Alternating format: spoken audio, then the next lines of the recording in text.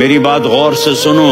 दुनिया का सबसे बड़ा रिश्ता खामिद और बीवी है। सबसे मुकद्दस रिश्ता माँ बाप है, लेकिन सबसे बड़ा रिश्ता खामिद और बीवी है। जब ये टूट जाता है तो पूरी नस्ल बर्बाद हो जाती है। इसलिए आपने ज़िंदगी गुजार के दिखाई। आप घर में झाड़ू दे रहे हैं, आप आटा गूंद रहे हैं आप हज़रत आयशा को लुकमे बना के खिला रहे हैं और हज़रत आयशा की दिलदारी के लिए फरमा रहे हैं, आयशा, सुन्ना हदीस तबरानी की, आयशा आयशा, मुझे जब से पता चला है ना कि तू जन्नत में मेरी बीवी है तो मुझे तो मरने का शौक लग गया है।